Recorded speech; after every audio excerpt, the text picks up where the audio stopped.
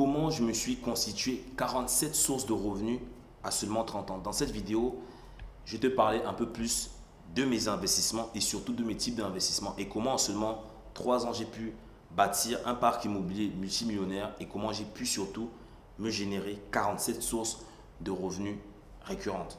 Ça te semble énorme, mais crois-moi qu'il y a des personnes qui ont bien plus que 47 sources de revenus. Si c'est un sujet qui t'intéresse, je t'invite à rester jusqu'à la fin de cette vidéo. Mais avant, je t'invite à t'abonner à cette chaîne YouTube pour rejoindre des dizaines de milliers d'entrepreneurs et investisseurs. Je t'invite également à nous mettre un pouce bleu car ça aide l'algorithme de YouTube à nous faire connaître un plus grand nombre de personnes. Et ça remercie également les 35 personnes de mon équipe qui travaillent tous les jours pour te produire du contenu depuis le 10 septembre 2017. Enfin, je t'invite à rester jusqu'à la fin de cette vidéo car tu auras justement la liste des sources de revenus que j'ai et que tu vas potentiellement pouvoir implémenter à ton niveau. Et enfin, tu auras accès à une masterclass où je te montre comment mon groupe d'investisseurs et moi-même arrivons à investir plusieurs millions en immobilier malgré cette situation de crise.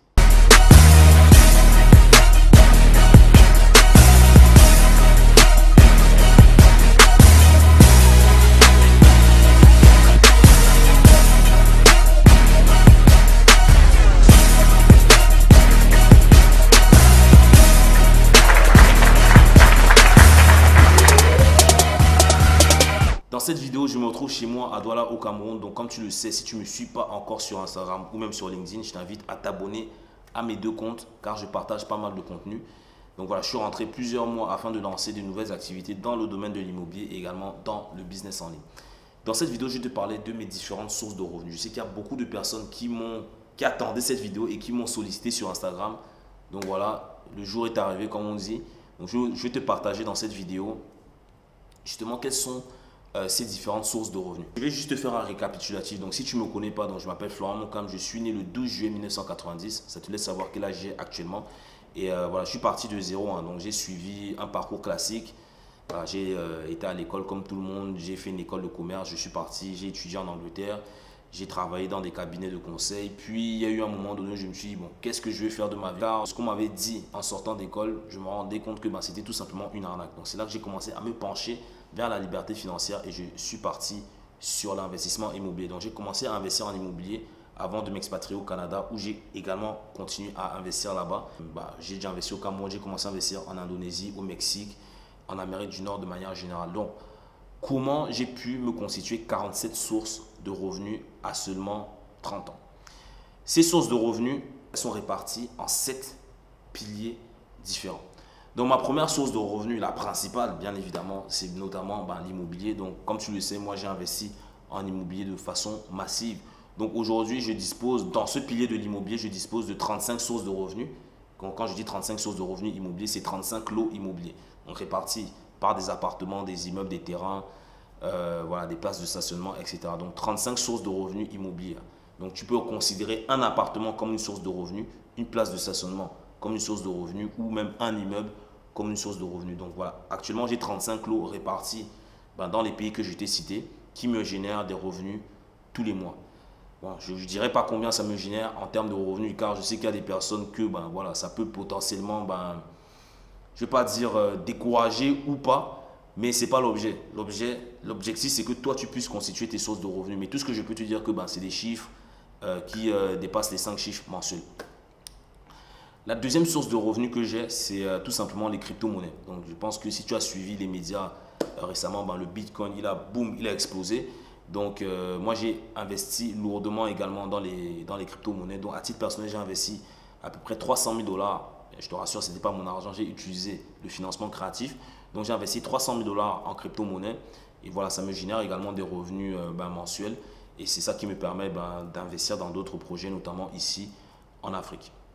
Mon troisième type de source de revenus, donc ça c'est le business en ligne. Donc dans le business en ligne, j'ai quatre sources de revenus.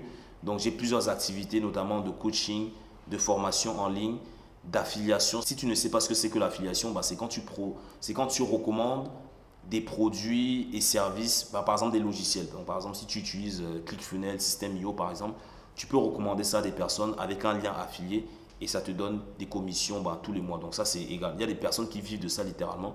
Et tout récemment, j'ai lancé une agence de social media marketing. Donc, c'est une agence digitale où justement on aide des entrepreneurs les chefs d'entreprise, les entreprises de manière générale à se digitaliser, donc à utiliser les réseaux sociaux, tout comme je le fais, afin de pouvoir vendre leurs produits et services à plus grande échelle.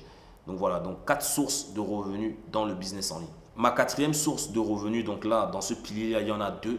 C'est euh, tout ce qui est business venture. Donc quand je dis business venture, donc c'est des partenariats avec euh, d'autres entrepreneurs. Donc où je suis actionnaire majoritaire ou euh, minoritaire. Donc notamment en immobilier. Donc je suis actionnaire de sociétés d'investissement en immobilier avec quelques participants qui nous ont rejoints dans nos programmes et qui sont arrivés à un certain niveau. Donc, euh, j'ai un, de, un, un de mes participants qui est maintenant mon ami, avec qui ben, on investit ensemble en Indonésie, au Mexique et bientôt en Afrique du Sud. Et j'ai des parts dans cette société-là où on fait euh, des acquisitions, la construction, etc.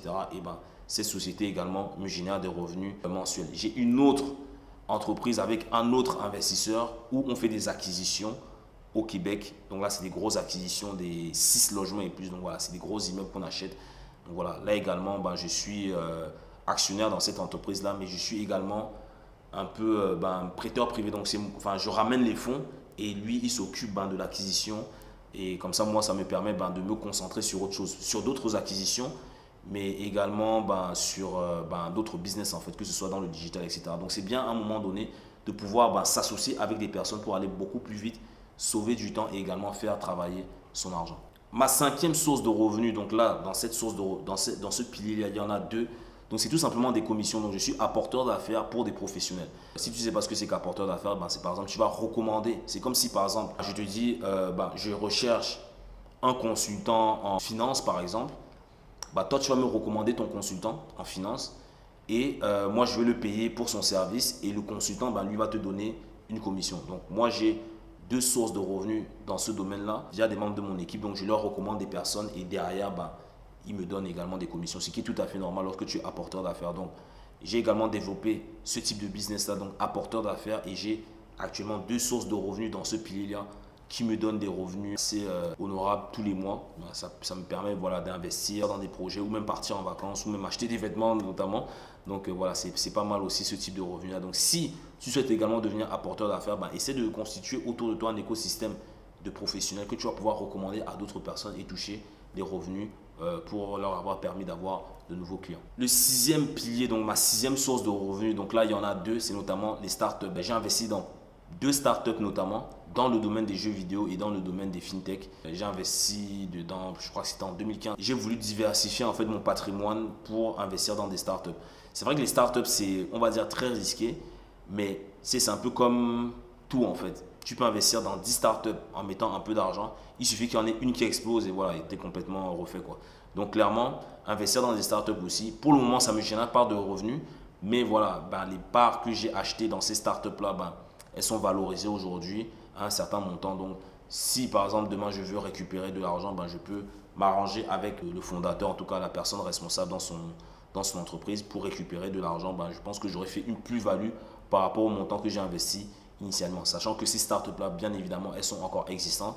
Parce qu'il y a beaucoup de startups qui, au bout de quelques années, voilà, on n'entend plus parler d'elles. Ceux-là, et je les félicite, ils se reconnaîtront aussi sur cette vidéo. Ils sont toujours au front, ils bataillent à mort pour faire croître leur entreprise. Et voilà, c'est vraiment admirable et ça m'inspire également. Et si toi également, ça peut, ça peut t'inspirer, tu peux laisser un commentaire et peut-être que je te dirai dans quelle startup j'ai investi. Donc la septième et dernière source de revenus que j'ai, c'est tout simplement un mini fonds d'investissement hedge fund que j'ai développé récemment, donc, euh, qui s'appelle Global Wealth Management.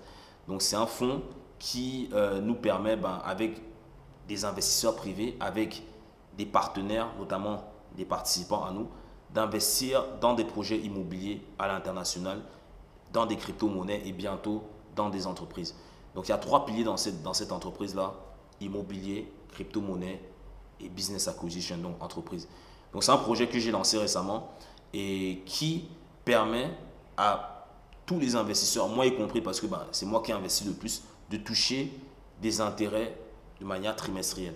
Donc ça c'est également une source de revenus que j'ai. Et je peux même te dire que je vis principalement de cette source de revenus. Donc tout ce que je gagne à côté, en fait, je le réinvestis. Et voilà, je, je fais en sorte d'avoir assez pour pouvoir vivre tranquillement. Je ne suis pas un grand dépensier, bien évidemment mais c'est principalement ce fonds d'investissement, en tout cas les intérêts générés par ce fonds d'investissement qui me permettent de vivre et de, ben, de profiter de la vie et de voyager. Donc 47 sources de revenus que j'ai pu constituer au fil des années. Donc je vais te faire un récapitulatif de ces 47 sources selon les catégories euh, associées. Donc la première source, c'est l'immobilier avec en sous-catégorie 35 euh, biens. Euh, il y a les crypto-monnaies, il y a le business en ligne sous quatre formes. Donc je t'ai parlé formation, coaching, affiliation et agence. On a également les business ventures. Donc là, j'ai deux business ventures avec des partenaires. On a aussi ben, les commissions. Comme je te l'ai dit, tu peux être apporteur d'affaires pour des professionnels et te générer des commissions. Donc là, j'ai deux partenaires à ce niveau. On a également euh, Startup, donc là il y en a deux. Et on a, euh, comme je te l'ai dit récemment, le fonds d'investissement. Également, il y a aussi cette chaîne YouTube. J'ai oublié de le mentionner pendant cette vidéo. La chaîne YouTube que tu as actuellement, c'est aussi une source de revenus, pas pour les revenus publicitaires générés. Dès que tu vois des publicités sur YouTube, il y a de la rémunération derrière, mais ce n'est pas, pas des montants euh, très conséquents. Ça dépend des chaînes, mais par exemple, une chaîne comme celle-ci, peut-être par an, elle va générer peut-être quelque chose comme 2000 dollars par 2 3000 dollars par an maximum. Le plus important, c'est ce que la chaîne peut te rapporter. Une chaîne comme celle-ci peut te rapporter en termes d'opportunités d'affaires, en termes de partenariat, en termes de clientèle aussi. Une chaîne YouTube comme celle-ci ou des réseaux sociaux, c'est également une source de revenus. Donc voilà, c'était tout pour cette vidéo. Si c'est un sujet qui t'intéresse, je t'invite notamment à liker cette vidéo, comme je te l'ai dit, pour remercier toutes les personnes qui nous aident à te produire du contenu dans tous les domaines. Euh, n'hésite pas à partager cette vidéo à toute personne qui souhaite entreprendre ou investir en immobilier. Et surtout, n'oublie pas de regarder dans le lien juste en dessous, car tu auras justement accès à plusieurs formations. Donc, il y a des e-books, formations offertes, masterclass et également, une fois que tu es inscrit, tu as la possibilité de prendre rendez-vous avec un membre de notre équipe pour discuter de ton projet immobilier. C'est Florent de Global Investisseur et je te souhaite tout le meilleur pour ta réussite. À très bientôt. Ciao.